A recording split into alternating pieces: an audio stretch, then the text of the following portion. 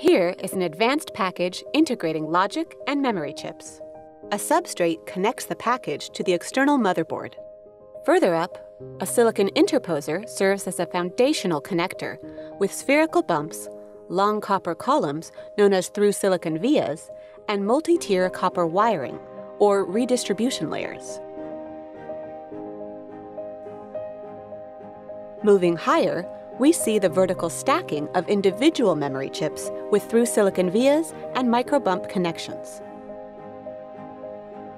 Switching to the logic side, we see chiplets connected to the interposer by through oxide copper vias and microbumps.